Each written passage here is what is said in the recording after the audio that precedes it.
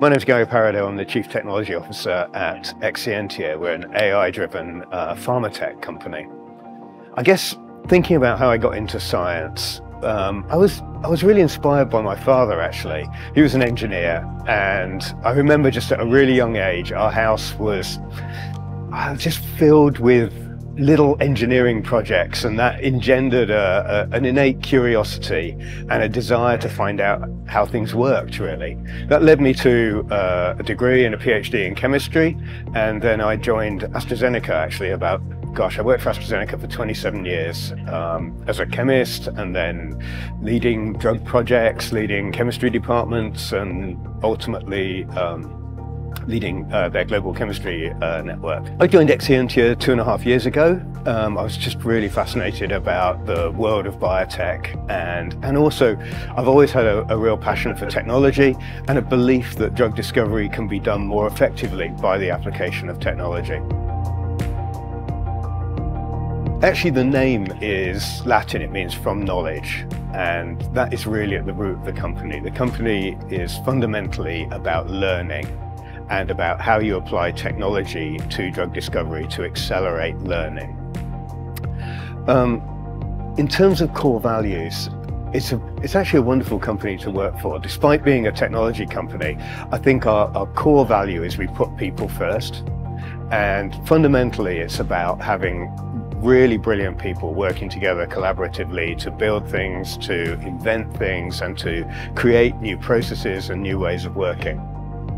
Our mission is to change how the world invents medicines, and we want to do that by encoding and automating drug discovery. And what we mean by that is encoding really means to teach or to learn, and automate is all about how we speed up and increase reproducibility. So it's really about fusing together technology and science into what we call a pharmatech actually. We, we, we've used the word pharmatech to describe ourselves and what that means is it's a blend of pharmaceutical research, drug discovery, core drug discovery skills, laboratory skills, etc., blended with technology and using the latest technological advances.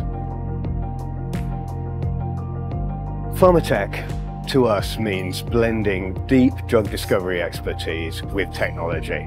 So what Exscientia is all about is how we use technology to accelerate the discovery of medicines and the development of medicines. And so what we're doing is everything we're trying to do is founded in technology. Artificial intelligence is a key part of that. Um, I think I would say actually not everything we do is AI driven. We've built an extensive physics-based method, but uh, methods. We use molecular dynamics, we use um, quantum mechanics, for example. But at, at the core of, uh, I guess, all of our platforms are, is AI. That's a great question. And I think for us, we have been looking to build an end-to-end -end drug discovery and development platform. So we're actually starting with target identification and you see lots of applications of artificial intelligence, knowledge graphs, etc. for how you identify targets.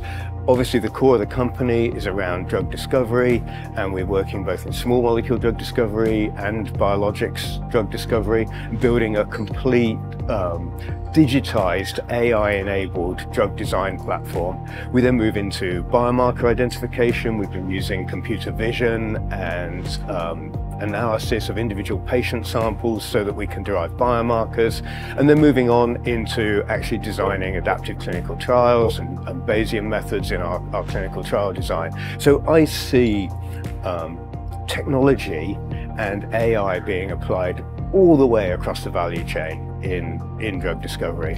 If you ask me how I think it's going to change, so uh, we're super proud at Exscientia of um, having put six molecules now into clinical trials that are designed using artificial intelligence. I believe within the next 10 years, all molecules will have had AI used in their discovery. I think technology can have a absolutely pivotal role in changing drug discovery. I mean, we've we've seen this. This is I'm not saying anything particularly new or revolutionary. We see how technology has changed the whole world, and I think the pharmaceutical industry needs to really embrace technology, needs to embrace digitization of its processes. Automation is really critical. I mean, look around at this exhibition, there's an incredible wealth of different automation technologies. You know, I'm, I'm old enough to have been involved in drug discovery for quite a long time and I remember the first inventions of HTS screening and HTS robotics and you look at what people can do now with you know collaborative robots and things like acoustic dispensing and all of the new technologies that are being applied we are revolutionizing drug discovery with technology and automation. Of that, I'm sure.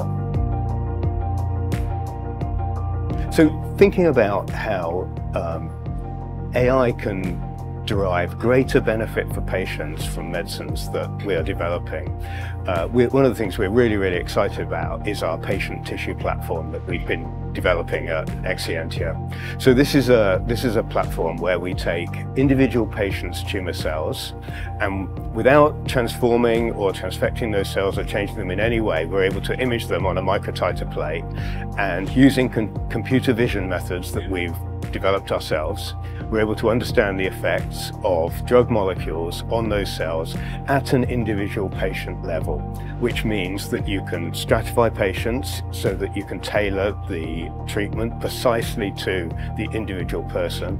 And you can also use it to develop biomarkers that uh, ensure that the medicine is going to work. And, and if we think about it, one of the greatest challenges in clinical development is how do you achieve maximum response rates for patients and how do you avoid giving treatments to patients when they aren't going to work. And we believe this, this platform, particularly in the areas of oncology, is, has the potential to have tremendous benefit for patients. Um, I mean, Exscientia is a, a, fantastic example, actually, of a company that was spun out of Dundee University uh, probably 11 years ago. Obviously, Dundee University is one of the top life sciences universities in the UK. Uh, we moved to Oxford for proximity to uh, the Oxford ecosystem, uh, in part Oxford University, but also that, that whole biotech cluster in, in Oxford. We have, a, we have an office in Cambridge. Um, we also have an office in, uh, in Vienna. And, and I think the, the European ecosystem is, is very vibrant. Science is fantastic in the UK and in Europe as a whole. And I think um, I think this is this is really really important for us. I, I, would add we do have an office in Miami and one in Boston, and we think the US is also also really really important. Obviously, that goes without saying. I think what can people do? For me, it's it's two things. One, it's about making investment and creating an environment, particularly now in relatively challenging economic conditions, where new companies can thrive and startups can be created. But it's also about investing in education of young people. This is something I'm really passionate about. I think creating that flow of talent in Europe is really important and maintaining that really high level of uh, academic institutions that allow us to develop that talent is, is where I would be investing. We're super excited about our automation studio that I'm going to uh, talk about a little bit tomorrow, but really we're on the beginning of that journey and um, we've got a huge amount of focus on making that making that a success and how we derive maximum benefits from us from it. So I think over the next year or two that's going to be a key a key focus for us. And and of course we have lots of other really exciting projects in the pipeline that I can't tell you about just yet.